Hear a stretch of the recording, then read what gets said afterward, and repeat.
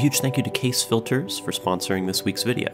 In this episode, I show you how to shoot dramatic storm time lapses, night sky sequences, and various tricks and tips for landscape photography. I really hope you enjoy watching.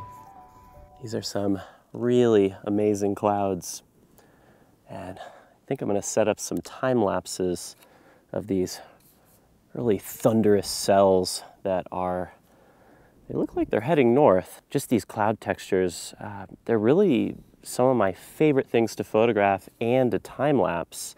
And I just love the movement you get when you speed up the motion and you can see all the billowing. So that's what I have uh, focused on right here. I've got the 28 to 200 millimeter lens on here. Let me show you what I am staring at real quick. So there is the storm cloud in all its glory. You can see there's a bit of haze just because this is midday light, but in order to take care of the haze, I use a polarizer. And watch what happens when I twist this polarizer. You're just gonna see all this richness and contrast. Oof, there we go. Looks so much more dramatic with the polarizer. You can see if you shoot it wide, you get the whole storm cloud, which could be cool. But then we could also zoom in here, pick out little individual sections of the clouds that also look really cool.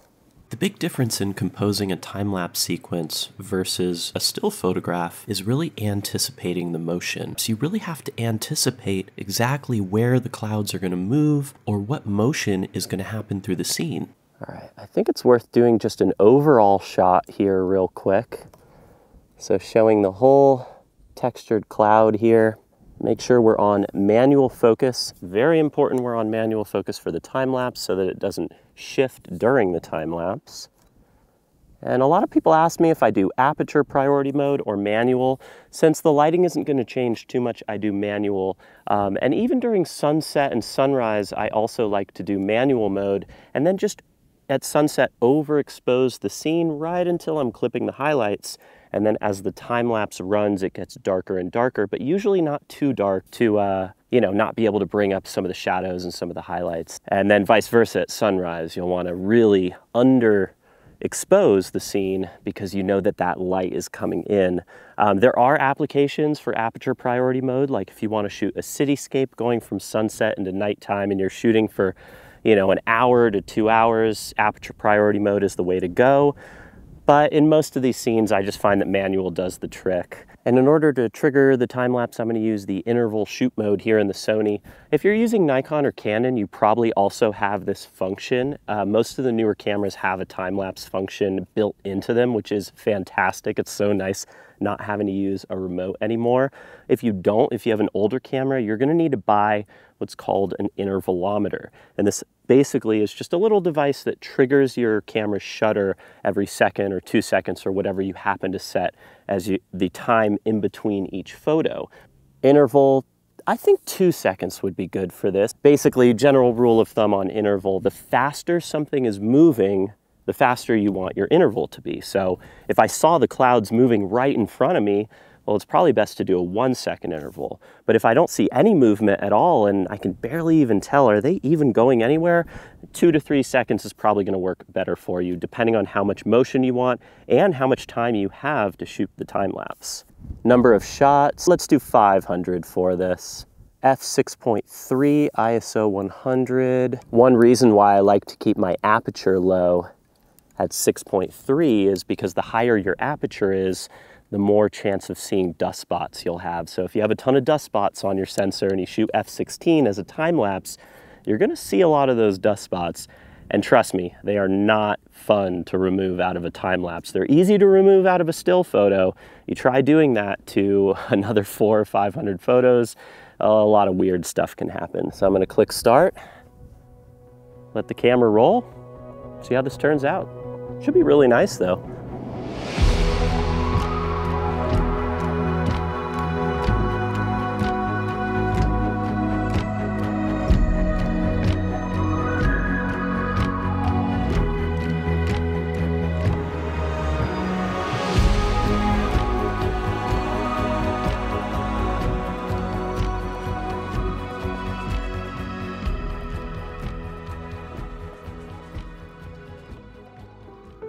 So again, a huge thank you to Kase Filters for sponsoring this video. I've been using their magnetic filter system for the last four years, and they've quickly become my favorite filter kit that I've ever used. The main reason for that is they are super lightweight and thin, super easy to take on and off the camera, and produce great quality without any color shifts. So if you're in the market for a new kit, I highly recommend checking these out. Link in the description. In my filter pouch, I also have an ND64 filter and an ND1000, and I will use these filters to knock down my shutter speed while I'm doing certain time lapses, mainly for time lapses that include water or quick moving objects like people and cars. Oftentimes, it's a good idea to do a long exposure to smooth out that motion. Just make sure if you do decide to do a long exposure that it doesn't exceed your interval. After shooting those time lapses, I decided to pull out the 100 to 400 lens to do a few cloud close-ups, and here's how those turned out.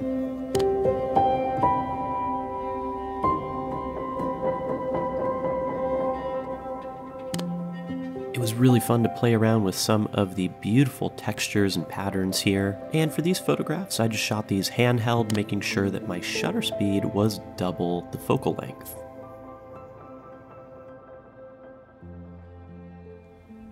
All right, so I decided to shift my time lapse attention to another scene. Absolutely incredible. You get this entire mountain range, Lone Pine Peak in the middle, Mount Whitney over there, all this symmetry. You know, I think right about there, so that I'm just a touch wider than what I want, and then I could always crop in later if I feel like this is too wide. I just don't want to have not enough room and then feel like the composition is cramped later on. So I'm gonna use the same settings as before, 1 500th of a second. Make sure my polarizer is twisted to get all that richness and contrast to the scene. I'm really excited to see how this one turns out. Absolutely love this. There's more of these storm clouds pushing in too. I wonder how that's gonna affect the lighting in the time lapse. That could be a very, a good or a bad thing. We'll have to see. It's very dark over there.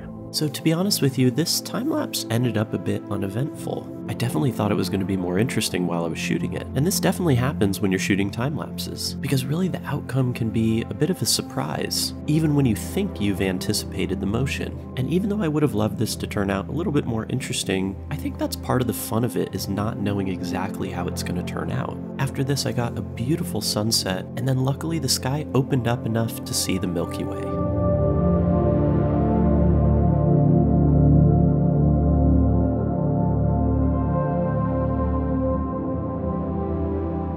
Biggest questions I get asked is how to shoot a Milky Way time lapse. And really, it's very simple. The key is to just let in as much light as possible. Generally, I'm using a wide lens like a 14mm or 16mm to show as much of the sky as possible, and then I shoot a 20 second exposure, f2.8, and ISO 3200 to ISO 12800 and then I'll usually let my camera run overnight for at least 4 hours to see all that motion in the sky. One thing that's very important to remember is since your exposure is so long, 20 seconds, that time is going to add to your overall interval. So if my shutter speed is 20 seconds, then in my intervalometer, I'm going to want to set 21 seconds so that there's that 1 second buffer time and I don't run into any issues with missing frames. Earlier in the video I mentioned aperture priority mode, and here's a shot from my trip that I used that setting for. And the reason for that is I ended up just letting this time lapse run for about an hour and a half while I ran off to take some other photographs. What I do is set my camera to aperture priority mode, and then I'll usually take down the EV meter by about one third of a stop, and I find that for my Sony multimeter works great. One of the problems with aperture priority mode that is less of a problem now, but definitely used to be a huge problem years back, was flicker. This is usually a problem with the light meter getting confused at the light entering the camera's sensor and giving you inconsistent lighting values in your frames. It's pretty easy to remove in post. There's a dedicated effect right in DaVinci Resolve which I find works really great, but if you want to dive even further into time-lapse editing, deflickering, and color grading, I recommend checking out LR Timelapse. This is a software that runs directly with Lightroom and allows you to animate the color grades of your Lightroom adjustments. You can also deflicker and export the time lapses right out of that software.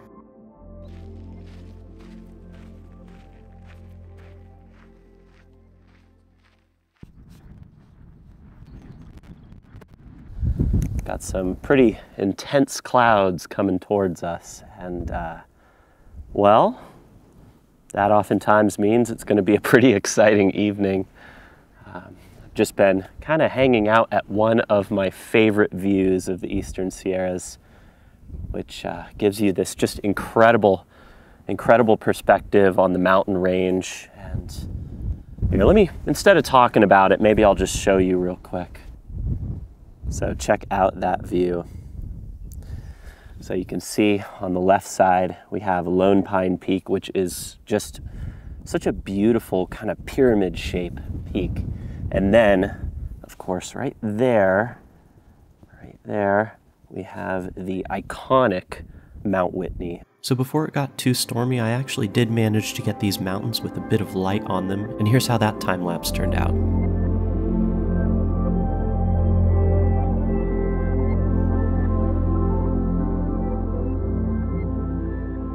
know what?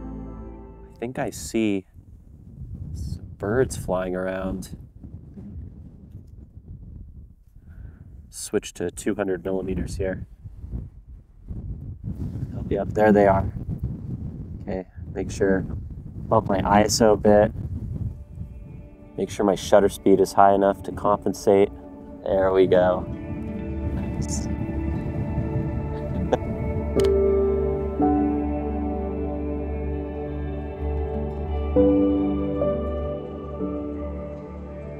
I've photographed this mountain countless times, and I feel like every single time I come back here, I'm always treated with something new. And I definitely lucked out with getting this bird right smack dab in the middle of Mount Whitney here. After photographing this one, I decided to wander to another area to see if I could get sunset, but the dramatic storm clouds had other plans.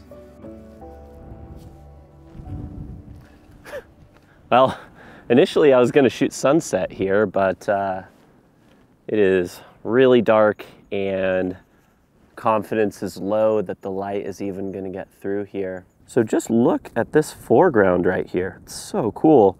And then it leads right up into this little spiky peak. So I can either do a panorama like this, or if I flip the camera vertically, I can almost get the whole thing. Right now you're seeing a 16 by 9 crop, so it would be a little bit wider than this, but I just love this kind of triangle shape you get and then the peak in the in the background. And even over there there's some really cool perspectives of this rock.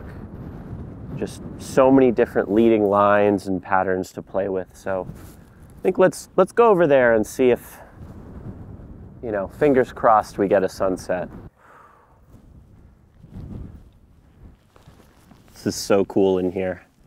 We've got all these rocks and then amongst the rocks you have these little these little white flowers. It's really cool. From this angle you kind of split the the formation into two, which is interesting. And of course if I pull back here you can see how that changes the foreground shape. But there's just a lot of different ways to compose this. So it's worth kind of moving around the foreground here, even getting down here a little bit closer. And really, I, I say it all the time in these videos, but you know, the wide angle lens is all about movement. It's all about you physically moving your position in the camera. So, you know, like any type of photography, it takes time to scout and play around and definitely not getting light now. It's, it's after sunset and unfortunately that, that didn't happen, but uh, I don't know, maybe I'll, maybe I'll come back here for better light another time, but you know, it's just one of those things. At least, even if you didn't get a shot, at least it's something you can make a mental note for for next time. Sure enough, I wandered back here with my friend Josh Cripps and got some way better light to work with.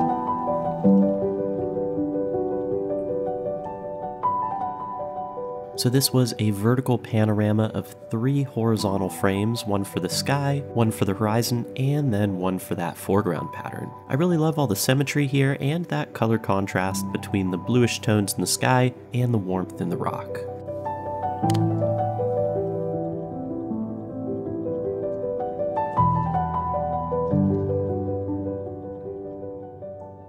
If you want to learn how I edit my time lapses, I'm going to go ahead and leave links to that at the end of this video. I also offer one-on-one workshops and tutorials, which are all on my website, link in the description. With that, I really hope you enjoyed this video, and if you did enjoy it, please give it a thumbs up and consider subscribing to the channel for more. And yeah, I'll catch you in the next one.